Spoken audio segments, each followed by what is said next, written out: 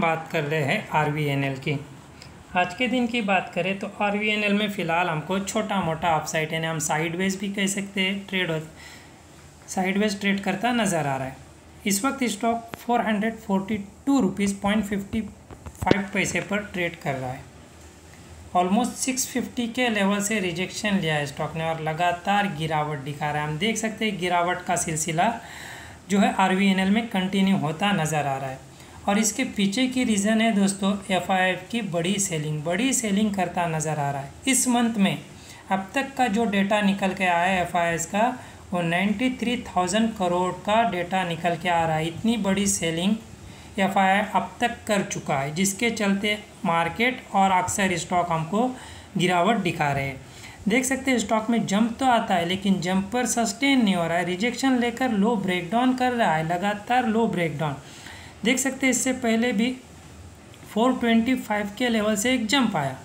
Rejection लिया, लेकिन इस लो को आपने ब्रेकडाउन नहीं किया है 425 के लेवल को। तो एक पॉजिटिव बात है कि आपने रिसेंट लो ब्रेकडाउन नहीं किया।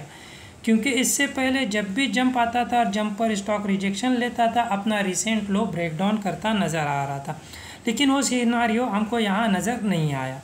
अगर इस लो को ब्रेक डाउन कर गया 420 के लेवल को तो फिर 400 तक का फॉल स्टॉक दिखा सकता है। हम देख सकते हैं चार्ट पैटर्न पर फिर इससे पहले 400 के लेवल से स्टॉक ने सपोर्ट लेकर लगातार फिर तेज़ी दिखाई थी और स्टॉक अपने मेजर सपोर्ट पर ही है, जहाँ से लगातार बड़ी बाइंग आई थी। देख सकते हैं ऑलमोस्ट 425 का लेवल ही ब्रेकआउट करने के बाद स्टॉक ने बड़ी बाइंग दिखाई थी। थोड़ा सा जूम कर लेते ताकि अच्छे से समझ में आ जाए। अब देख सकते हो कि स्टॉक ने ऑलमोस्ट 424 का लेवल ब्रेकआउट करने के बाद लगातार हमको तेज़ी दिखाई थी। तो अपने मेजर सपोर्ट पर ही स्टॉक इस वक्त हमको नज़र आ रहा है। लेकिन मार्केट भी गिरावट में और आर भी गिरावट दिखा रहा है।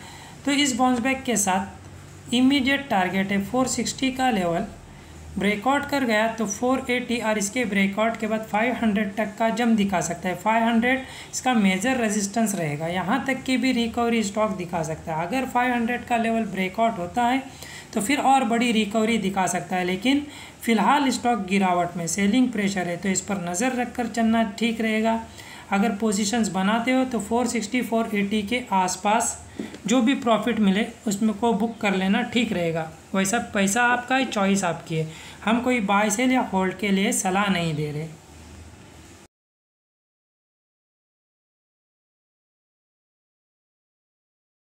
अगर आप डिमेट अकाउंट ओपन करना चाहते हो तो डिस्क्रिप्शन में दी गई लिंक से कर सकते हो।